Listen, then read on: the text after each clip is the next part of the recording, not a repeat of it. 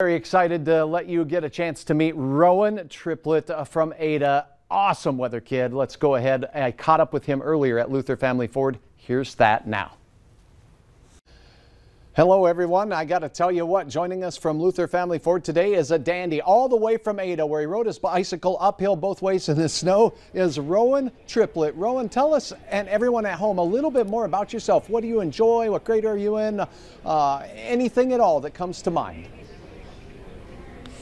Hello, my name is Rohin. I am 12 years old and I'm in 6th grade at Ada Borup High School. An interesting fact about myself is that I like to garden. And gardening is largely determined by how the weather is, making it an important field of science to understand among all growers.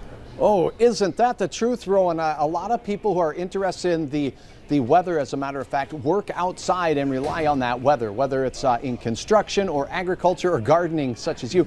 And I don't hear from a lot of sixth graders that they like to garden.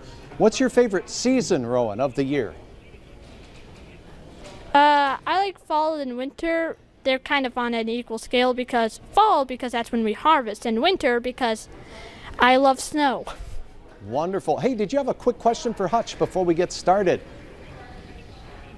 Uh, yeah. What's the difference between a positive and negative phase uh, Arctic oscillation? I know they have something to do with how air pressure shapes over the poles and the equator, but I don't know what effect it has on the overall weather.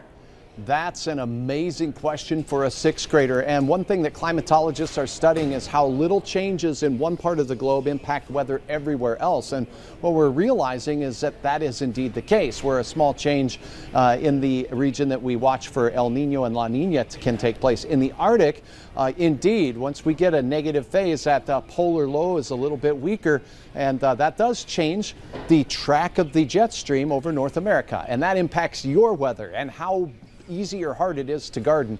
Uh, but sometimes it's different, and those oscillations interact with other oscillations, like the El Nino, which makes things a lot more complicated. Hey, do you have the forecast for all your friends and uh, family and Ada as they head out the door in the morning on their way to work or school? Uh, on your way to school, it will be 30 degrees and sunny, which is a comparatively nice morning to the weather we've been having the past week. Very observative, Rohin. How about the after school forecast? Uh, when you're heading home from school and work, it will be 51 degrees and it will be a little breezy, but there will be sun out, so hopefully it's not too bad. Rohin, I gotta tell you, you seem like you've done this not once, but multiple times. What an outstanding job. And why don't you tell me, you like gardening, what's your favorite thing to grow in the garden? Uh, pumpkins, because pumpkins just grow so fast and there's really nothing stopping them. That's awesome. Well, I love the pumpkins at the end of the season, too. They always take fun shapes. Well, thanks for joining us. If you'd like to sign up to have your kid be a weather kid, swing into Luther Family Ford. They'll have a, uh, a form for you to fill out, or you can log on to valleynewslive.com anytime. Uh, go to the contest tab, pull down, you'll see the weather kid contest there. And Rohin, thanks again so much. What an incredible job of speaking you're doing. I think that uh, you have a future, young man. Also, Rohin told Hutch he wants to be a meteorologist later in life. So fantastic job, Rohin. You can do it.